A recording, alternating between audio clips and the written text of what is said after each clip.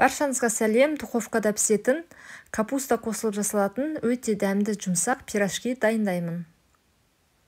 Алдымен ыдысқа 100 мл жылы су оның үстіне 150 мл бөлме температурасындағы сүт бір үлкен қасық дрожжи үлкен жарты қасық тұз екі үлкен қасық қант және 70 мл сұйық май құйып жақсылап араластырамыз.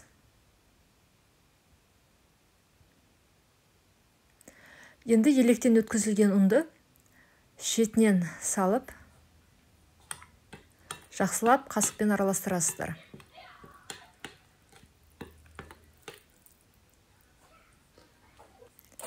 Ұнды басында шетінен саласыздар жақсылап араластырып қамыр қоюланғаннан кейін қолымызбен илейміз.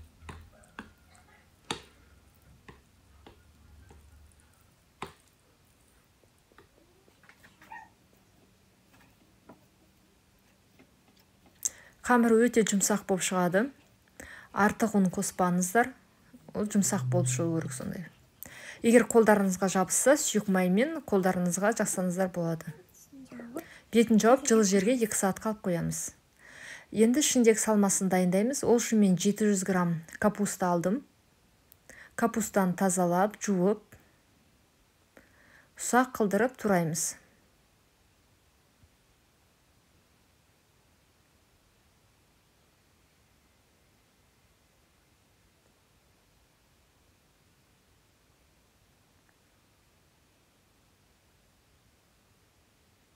капустаның бәрін турап болдым ыдысқа алып қоямын шетке содан кейін үлкен сәбіз алдым видеода көрсетілгендей және сәбізді де ұсақтап жіңішке қылдырып тураймыз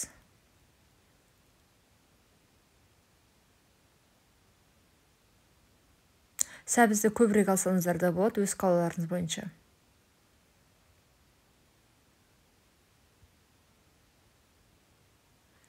сәбізді турап қойдым. Енді жуаны тураймыз. Мен бір үлкен жуа алдым. Ұсақтап тураймын. Жуаны турап қойдым. Енді қазанға сұйық май құйып сұйық май қызғаннан кейін жуаны салып жақсылап қуырамыз. Жоғарғы отта қуырасыздар араластырып тұрасыздар. Жуа қуырылғаннан кейін сәбізді саламыз.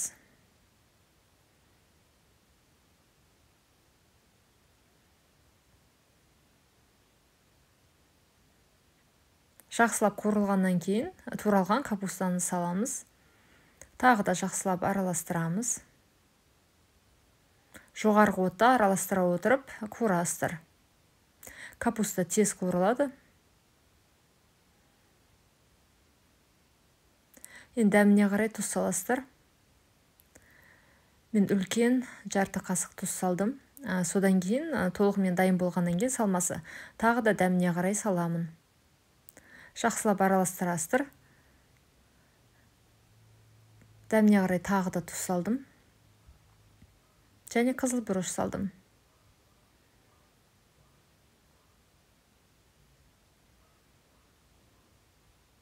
Салмасы дайын отты өшіріп қойып қоямын толық суы үшін. Қамыр екі сағат жылы жерде тұрды көтерілді. Енді аздап илейміз. Қатты илеудің қажеті жоқ.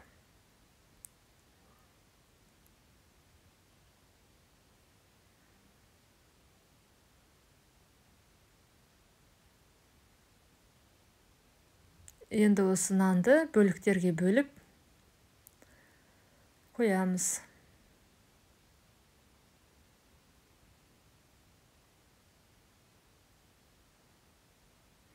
Әр бөлігін елеп қоямын елеп қойған нанның үстіне салафан немесе орамал жауып қоясыздар. Кішкене жаңағы нан тынуы керек. Мен 5 минутқа қойып қоям. Бетін жауып. Бес минут тұрды. Бес минуттан кейін жаңағы нанды алып жұқа қылдырып жаямын бір келкі жұқа қылдырып жаямын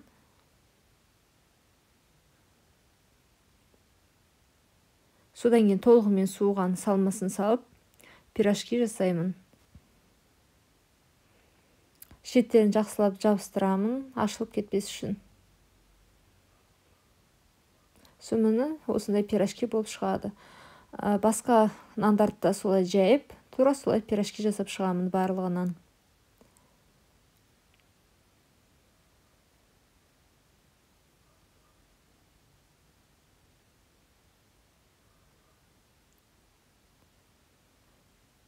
Салмасын мол қылдырып саламын маған солай ұнайды.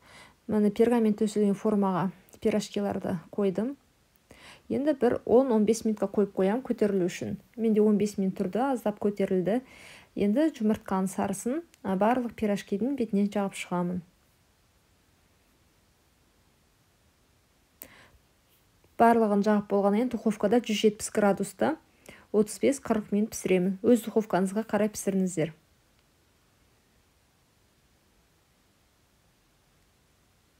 Пирожки дайын. өтө жумсак болуп чыкты. Осы рецепт боюнча жасап көрүңүздөр ас болсун.